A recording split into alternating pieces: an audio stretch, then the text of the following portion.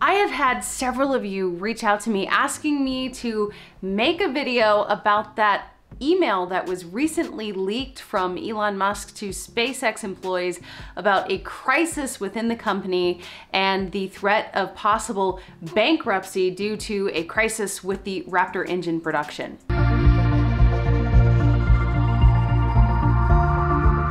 So I wanted to first go through what was reported in that article and then also read to you some of the tweets or replies from Elon himself addressing this issue. So we learned about all of this through an apparent company-wide email that was sent out the day after Thanksgiving. In the email, Elon Musk describes a dire situation with the development of the Raptor rocket engines. He says that the Raptor production crisis is much worse than it seemed a few weeks ago. And in this email, he says that SpaceX faces a genuine risk of bankruptcy if we cannot achieve a Starship flight rate of at least once every two weeks next year. I went down to Boca Chica, Texas a few months ago to see the development of Starship in person. This is of course the next generation SpaceX rocket that will take cargo and people on missions to the moon and to Mars. SpaceX is testing those prototypes and it has flown many short test flights but we're of course gearing up for the highly anticipated orbital launch test flight.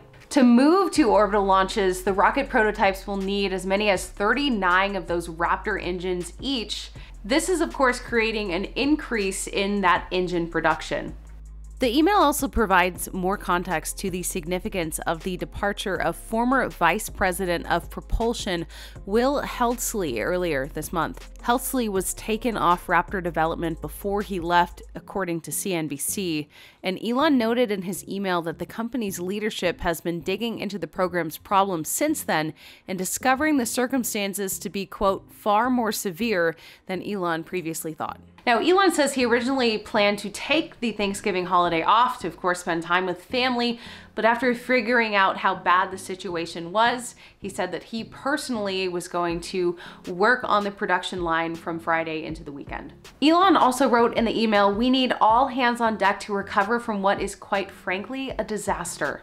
And we've learned from previous interviews that Elon has described production as the most difficult part of creating Starship. We're thinking that first orbital test flight of Starship will be in January, and of course this is not only pending regulatory approval, but also technical readiness. So why is this such a disaster? Well, they need those Starships to be built in order to launch the version 2 Starlink satellite. Elon says that they have made many improvements with the second version of the Starlink satellite, and it's strong, but it can only be launched effectively by its Starship rockets. SpaceX has been launching our current Starlink satellites with the Falcon 9, but Elon has stated that it doesn't have the mass or volume to effectively deploy the second generation satellites. So that of course means that the success of the Raptor engine program also influences the long-term financial stability of SpaceX's Starlink service. Elon says in the email that SpaceX is currently ramping up production of its Starlink antennas to several million units per year,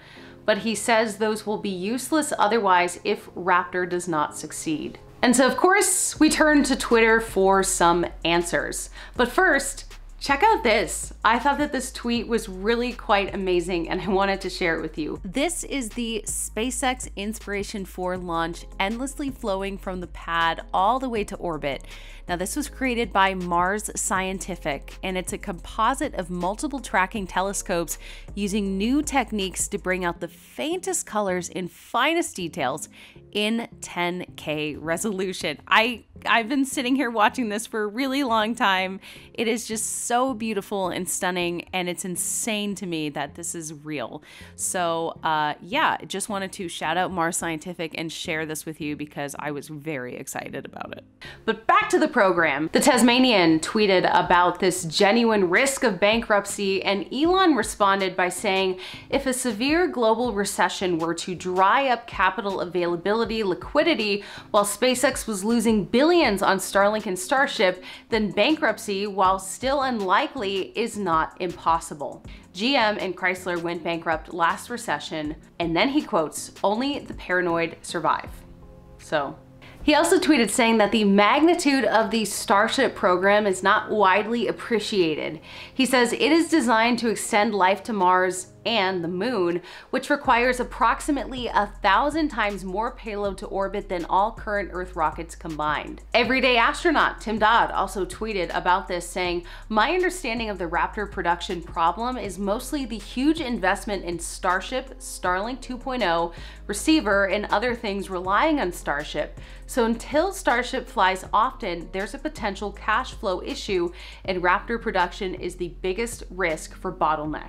And Elon replied to this saying, yes, and it's getting fixed. So of course, there's the email, there's the tweets from Elon, and then there's your opinion. So I wanna hear from you guys in the comments. Is this something that you're worried about?